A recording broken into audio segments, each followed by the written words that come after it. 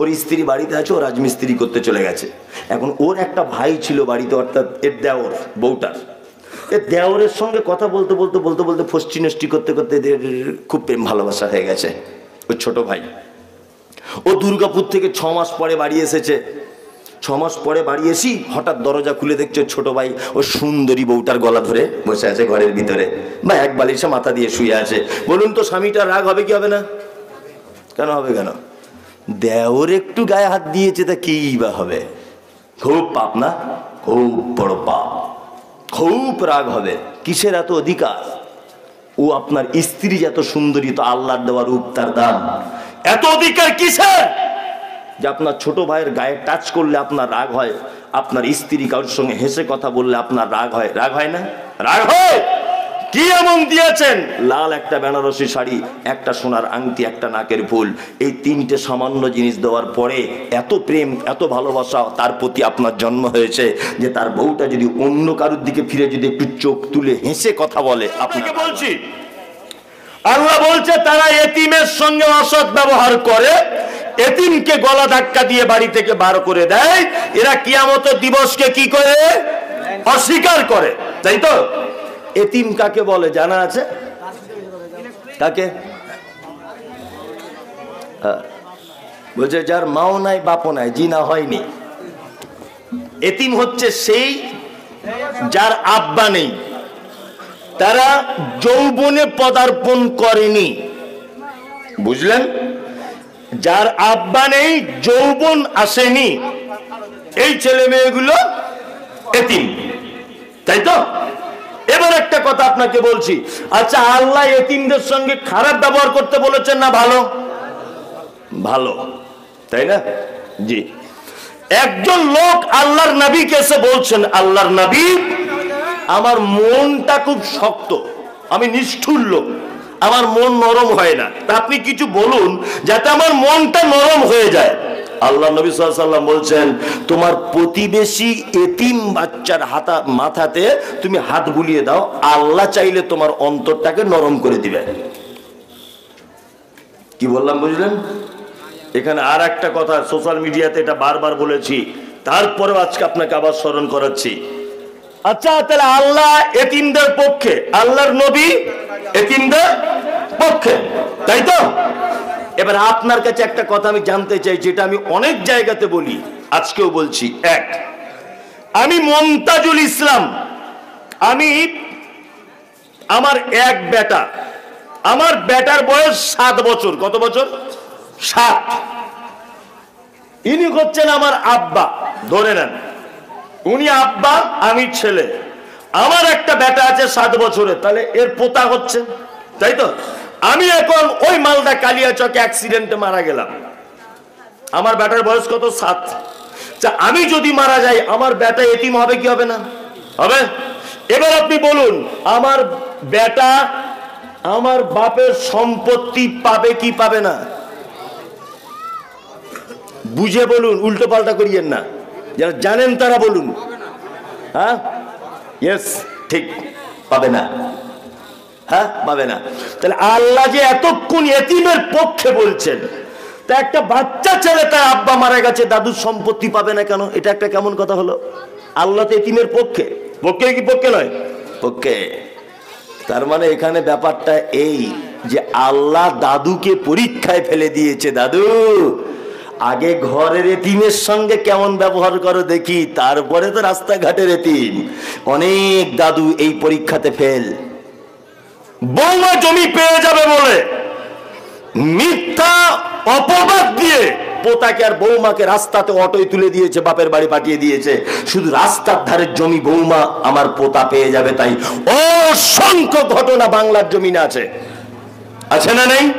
আচ্ছা দাদু, তোমার উচিত ছিল তোমার এতিম পোতার জন্য কিছু জমি দেওয়া।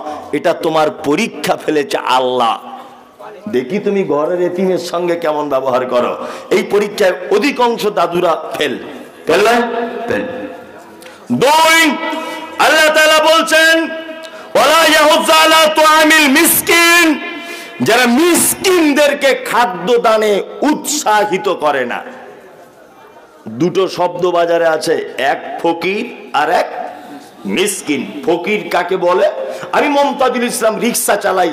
আমার টোটাল পুঁজি তিরিশ হাজার টাকা আমার ছেলের হঠাৎ হার্টের অপারেশন ডাক্তার বলেছে দেড় লাখ টাকা খরচা, আমি তিরিশ হাজারের মালিক, বাকি টাকা কোথায় পাবো?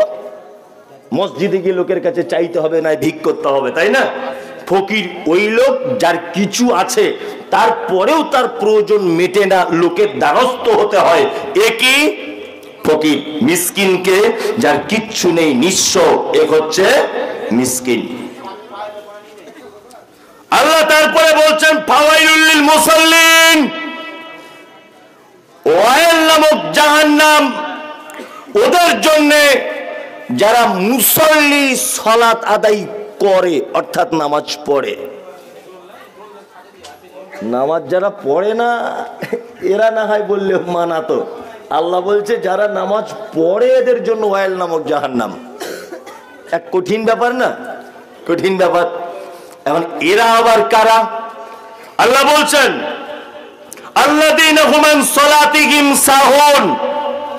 যারা নামাজ পড়ে, কিন্তু এনার্জি লস নামাজের প্রতি ভক্তি নাই। কি বলছে বুঝতে পারছেন না? আমাদের বাজারে এরকম নামাজি আছে না নেই? নামাজ পড়ছে, এইরকম পাচা চুলকাইছে। আর কেউ টুপি দিতে ভুলে গেছে, ধরে না। ভুল হতেই পারে, টুপি না দিলেও নামাজ হবে। টুপি না দিলে নামাজ হবে। কোনো সমস্যা নেই।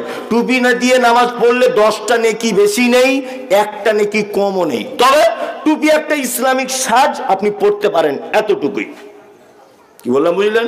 টুপির সঙ্গে নামাজের কোনো সম্পর্ক নেই। তা টুপিটা দিতে ভুলে গেছে, ভুলে গেছিস গেছিস, কোনো অসুবিধা নেই। ও আবার টুপিটা পকেট থেকে বার করে ডাইরেক্ট যদি মাথায় দিয়ে দেয় তো একরকম হয়। আবার জুত করে ফুঁক দিয়ে তবে মাথায় লাগাচ্ছে। এই, তুমি জানো যে নামাজের ভিতরে কাজ, কোনো কাজ বৈধ নয়। কোনো কাজ কি? বৈধ নয়। তুমি যে টুপিটা পড়লে ফুঁক দিলে, এটা কাজ কি কাজ নয়? কাজ? কাজ। এটা একদম করবেন না। নামাজ পড়ার কোনো ঢংই নাই। আশ্চর্য ব্যাপার। আমার জীবনে ঘটে যাওয়া অনেক ঘটনা। আপনাদেরকে সোশ্যাল মিডিয়াতে মাঝে সাঝে বলি, তার ভিতরে এক বছরের জন্য এক জায়গায় আমি ইমামতি করতে গিয়েছিলাম, নাম বলব না। এক বছরের জন্য। মাদ্রাসা থেকে পড়ে এসেই আমার আব্বা বলছে, ইমামতি করতে যা। আমি বললাম, আমি ইমামতি করব না, লোকের কথা সহ্য হবে না, হয়তো ঝগড়া মারামারি লেগে যাবে।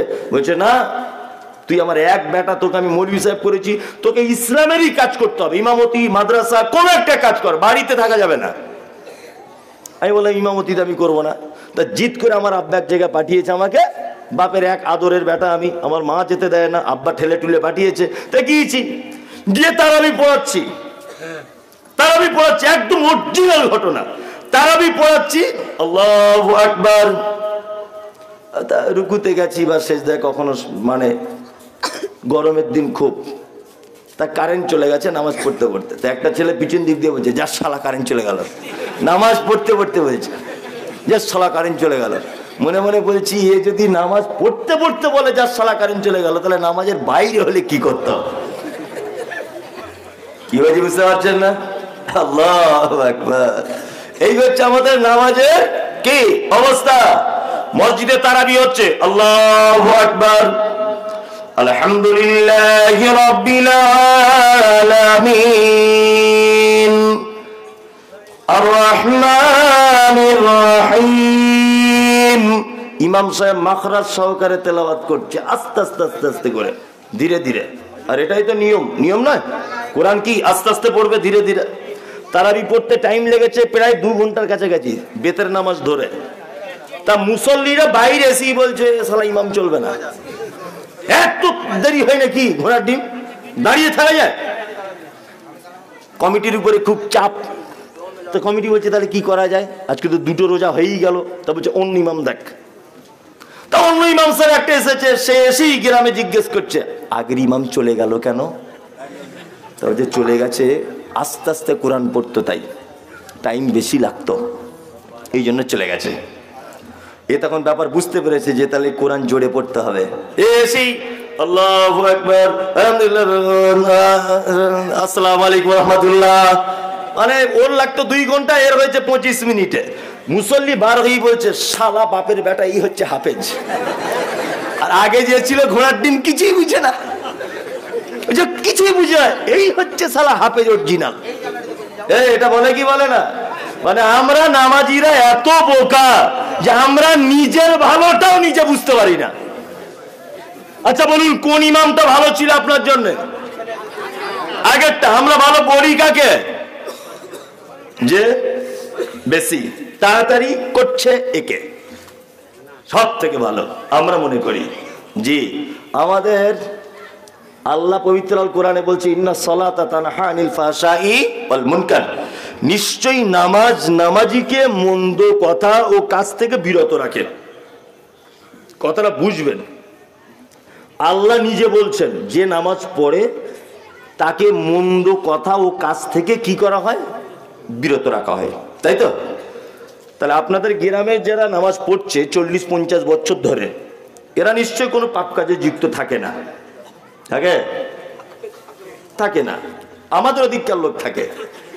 যেমন বলছে এদিককার আছে, ইমাম সাহেব বলছে এদিককার আছে। কত রকমের চিটার দেখবেন।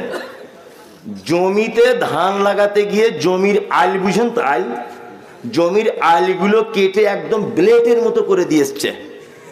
নিজের জমি বাড়িয়েছে। কেটে জমিটা বেঁকিয়ে দিয়েছে ধনুকের মতো আল কেটে কেটে। ওই লোকটাই মসজিদে এসে বলছে, এই কাতা ঠিক কর না তো নামাজ হবে না। জমির আল কেটে বেঁকিয়ে দিয়ে এখানে এসে বলছে, কাতার ঠিক কর, নামাজ হবে না। এরকম লোক মালদা জেলাতে আছে? তাহলে এবার আপনাকে একটা কথা জিজ্ঞেস করছি। আল্লাহ বলছেন নামাজ পড়লে মন্দ কথা ও কাজ কে? বিরত থাকবে। তাহলে বলুন তো, যে লোকটা চল্লিশ বছর, তিরিশ বছর নামাজ পড়ছে তারপরেও সুদে টাকা খায়। নামাজ পড়ে তারপরেও গাঁজা মদ খায়। নামাজ পড়ে তারপরেও মিথ্যা কথা বলে। নামাজ পড়ে তারপরেও চুরি করে। নামাজ পড়ে তারপরেও ব্যবিচারে লিপ্ত। আচ্ছা বলুন তো দেখি তাহলে এর নামাজ হচ্ছে কি হচ্ছে না? হচ্ছে? তাহলে এর নামাজ হচ্ছে না। যদি ওর নামাজ হয়ে যেত তাহলে ও খারাপ কাজ থেকে কি করতো? নিজেকে আটকে রাখতো। আসলে নামাজটা আমাদের অভ্যাসে পরিণত হয়েছে। কি বললাম, বুঝলেন? নামাজটা অভ্যাসে পরিণত হয়েছে। ইবাদতে পরিণত হয়নি। অভ্যাস। দিনে পাঁচবার যেতে হবে মসজিদে, এটা আমার কি? অভ্যাস। তাহলে নামাজ পড়বেন যখন, ধীর স্থির ভাবে পড়বেন ইনশাল্লাহ নাম্বার দুই, আল্লাহ তাআলা বলছেন ফাওয়াইলুল লিল মুসাল্লিন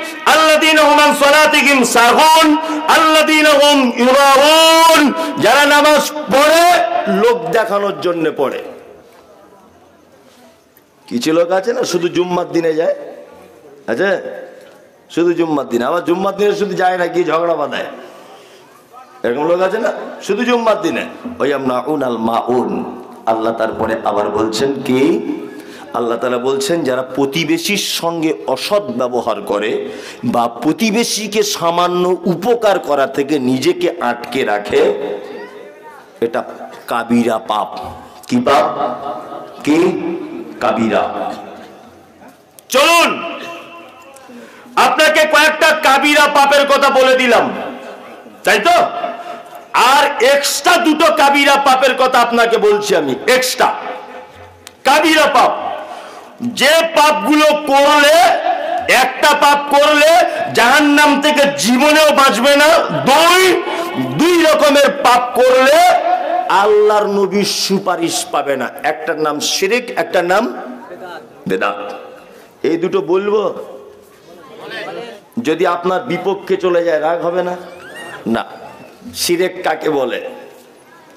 সর্বপ্রথম জেনে রাখুন আল্লাহর যে ক্ষমতা আছে, এই ক্ষমতা পৃথিবীর অন্য কারও আছে। এটা মনে করা শিরিক। রুজি কে দিতে পারে? আল্লাহ। হায়াত মাউত? আল্লাহ। বাচ্চা কাচ্চা দিতে পারে না? আল্লাহ দিতে পারে। তাই না?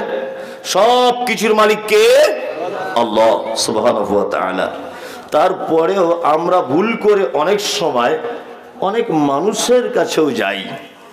রোগ হয়েছে ওষুধ খান। কোনো সমস্যা নেই। ওষুধ খাওয়া কি? সুন্নত। আপনি ওষুধ খান। ট্রিটমেন্ট করুন, ভালো ডাক্তার দেখান। কোনো সমস্যা নেই। সমস্যা আছে? নাই। তাহলে ওষুধ খেলে রোগ ভালো হয়। আপনার জ্বর হয়েছে। এখন যদি প্যারাসিটামল খেলে জ্বর সারে, তাই না? এখন ওই প্যারাসিটামল যদি হাতে বেঁধে যদি ঘোরেন, সারবে? না, খেতে হবে। তাই তো? তা আল্লাহ তাআলা বলেছেন, অনুনাজ্জিলু মিনাল কোরআন, মা হুয়া শিবা কোরআন অবতীর্ণ করেছি, এতে মোমেনদের জন্য রয়েছে কল্যাণ। কি বললাম, বুঝলেন না?